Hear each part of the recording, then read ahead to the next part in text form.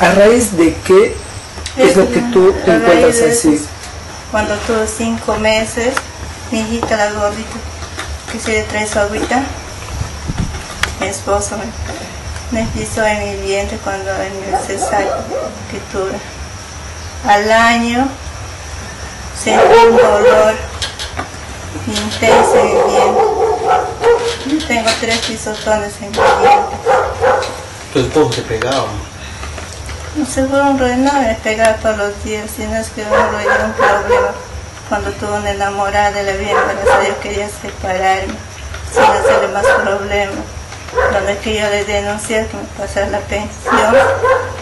Y entonces él, cuando llegó la notificación, se amargó y ahí tuvimos problemas.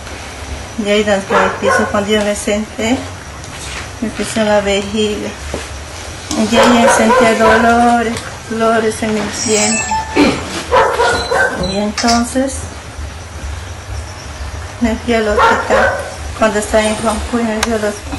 Cuando que me hicieron un, un lavado vaginal, yo me dio una hemorragia. Me dio la hemorragia, me quedé así, tembloroso mi cuerpo, boté mucha sangre. Mi hermana fui a traer a la marcha, me llevaron a la chat, recuperé bien por los, a los seis meses que recuperé. Y dolor empezó a dar mi cuerpo. ¿Cuántos años está así, señora? ya? Ocho años, joven. Ocho años. ¿Usted con quién vive, señora? Yo vivo solo con mis hijos. ¿Cuántos hijos tienen? Yo tengo cuatro hijos, dos están en Lima Ya. y dos pequeños están conmigo. ¿Están ¿Ellos, estudiando? ellos estudian? El mi hijito el que está escuchando, él estudia, Al mismo tiempo él estudia, también te cuida, vera por ti. sí. Mi hijita no estudia, ya me da mucho. ¿cómo haces? ¿De qué manera se sustentan, ¿Estás curándote? ¿De qué manera te sustentas con O sea, el los tratamiento, alimentos? el tratamiento, yo sé que el hermano que me está tratando es un señor que sabe bastante de la medicina, es naturista.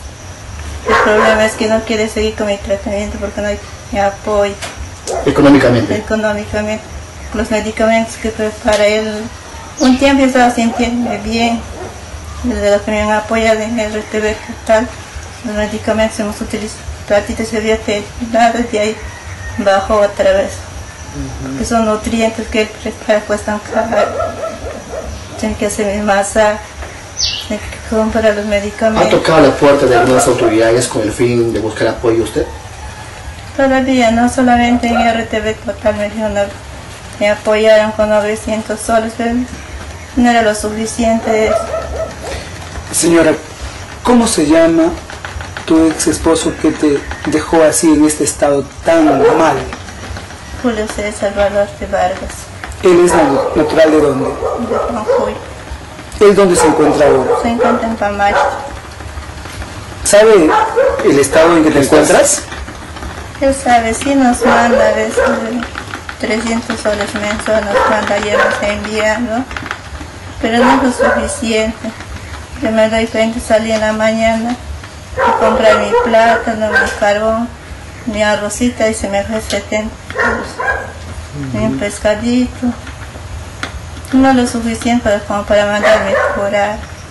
Señora, ¿y usted quisiera que le caiga todo el peso de la ley por el estado que te ha hecho? ¿Por esta agresión criminal? Como te digo, yo no soy una persona mala que desea la maldad, yo solamente pongo en manos de Dios, porque el momento Dios va a obrar en él y las cosas lo va a suceder en cualquier momento. No puedo decirle porque si yo le mando a la cárcel, a veces cuando no tengo nada, me pasa un, un 100, un 50, si yo ni siquiera puedo estar darle gracias a Dios como ni que me pero tal vez de la ley le va a caer en cualquier hora con la presencia de Dios. Yo soy creyente y no puedo juzgarle porque solamente Dios lo va a juzgar. ¿Cuántos años tienes? 41 años, Ocho años así, postrada ya. sí. ¿Cuál es su nombre? ¿Cuál es su nombre de usted, Mi señora? nombre es Norita Pujina Pérez, Natural de... Mucho típica, ¿no? Julio, ¿Usted quiere que la población le apoye? yo quiero que me apoyen para continuar con porque Su tratamiento, mi, ¿no? mi médico va a viajar, en- Aprovecha. Medio de comunicación está presente acá.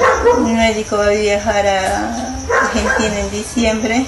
Yo quisiera aprovecharle, solamente él me puede, él solamente él me, me tranquiliza cuando ya estoy. Solamente él me conoce, mejor no le co- otros médicos no le pueden tocar. ¿Usted puede dormir, señora? Sí, pero a veces cuando tengo problemas no puedo dormir.